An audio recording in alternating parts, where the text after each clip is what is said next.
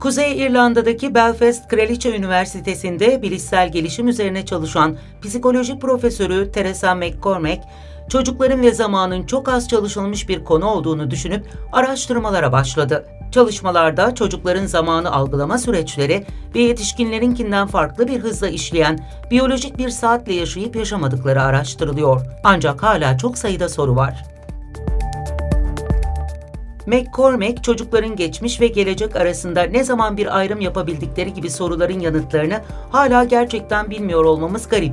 Çünkü yetişkinler olarak hayatlarımız hakkındaki düşünme biçimimizi bu ayrım yapılandırıyor gibi görünüyor diyor. Ayrıca McCormack, çocukların önce, sonra, yarın ve dün gibi terimleri kullanarak zamansal dili gerçekten tamamen yetkin bir şekilde kullanabilmeleri vakit alır diye konuştu.